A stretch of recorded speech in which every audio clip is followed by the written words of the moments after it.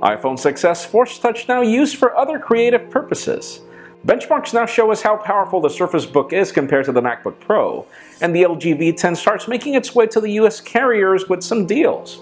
I'm Jaime Rivera, and uh, I don't understand why some people don't like Monday jokes and still hate Mondays along with me. This is Pocket Now Daily. The official news today begin with Apple. Those of you waiting for the new Apple TV, we just learned uh, two things. Number one, the pre-orders start today. Uh, the second is that there's actually two models. There's an $149 model with 32 gigs of storage, and then an 199 model with, uh, well, 64 gigs of storage, because obviously you can play games on this, store everything. And that's interesting, and uh, well, if you order today, you'll get it by November 3rd or somewhere around there, which is an interesting date. Uh, we will keep you posted most likely. I will be ordering Other interesting official news come from LG. Those of you interested in the LG V10, you can pretty much order it now on T-Mobile and AT&T. In the case of AT&T, though, you'll be paying $250 plus a contract or $700 off the bat.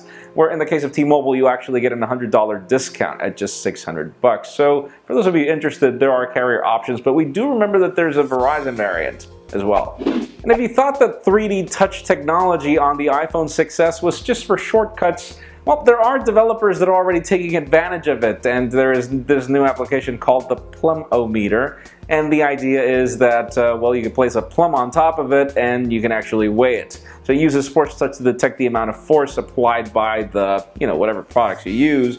And uh, yeah, there should be other scale applications coming very soon. But uh, for those of you that didn't know, this is actually not new for the Huawei device that's also capable of force touch technology.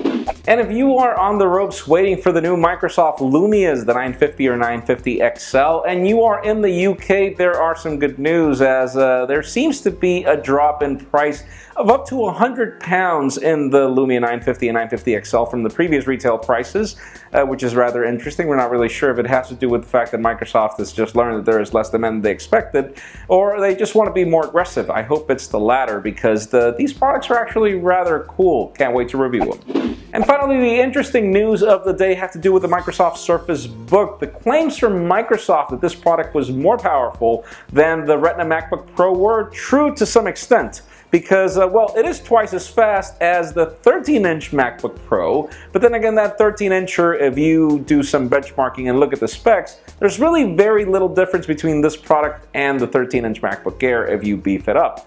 So yeah, obviously the 13-inch MacBook Pro is not as powerful as the 15-inch model, but then again, I do feel that is somewhat of a fair comparison, particularly because, well, the Surface Book is actually $300 more expensive. So it leads me to the question of the day. If you had to choose right now, which of these products would you buy? And I'm actually going to include the Surface Pro 4, the Surface Book, or a 13-inch MacBook Pro. Which one would you pick? In my case, I stayed away from the 13-inch MacBook Pro because of the lack of the quad-core processor back in the day. Uh, but uh, yeah, I'm really compelled for the Surface Book, except for the price tag. Leave us a comment down below. We would love to know what you want. Friends, as always, you know the drill. If you want to get the news earlier before this video was filmed, make sure you follow us on PocketNow.com and subscribe to our YouTube channel as well. And follow me on Twitter, Jaime underscore Rivera, or on Instagram at Jaime Rivera. Please give this video a thumbs up if you like what you saw. I am Jaime Rivera. Thank you very much for watching. We'll see you tomorrow.